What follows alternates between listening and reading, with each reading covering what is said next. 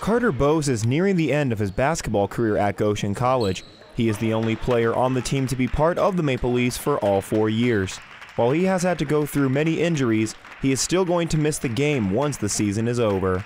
It's been a lot of fun playing here, and you know I'm really sad that it's coming to an end. But on the other hand, like for those who have watched this year, they noticed you know I've been dealing with a lot of injuries, so um, I feel like my body's ready to be done. But you know basketball has been a huge part of my life, so I'm not ready to let go of it yet. But you know I'm still looking forward to the time I have left and to finish the year off strong.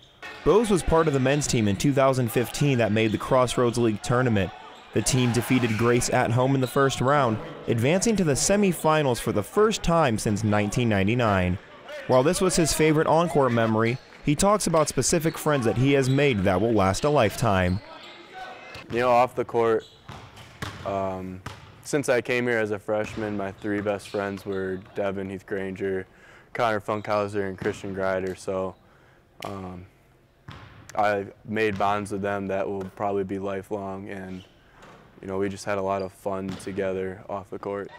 Boos gives this piece of advice to the rest of his team and future players that come to Goshen College. You know, enjoy it.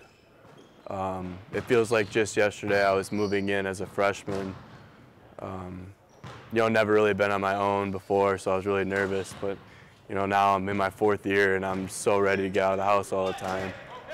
Um, and obviously basketball is coming to an end for me. Um, and then also, you know, stick through it. It's, um, it's not always going to be easy. Uh, people don't realize that uh, the work that you have to do to be a student athlete, you know, like it's a lot of extra work you got to put in to be good. And, you know, sometimes you'll be losing and you feel like you should be getting more minutes or you know, you may not agree exactly to what the coaches are doing, but if you stick through it, I promise your time will come, you know, when you become upperclassmen.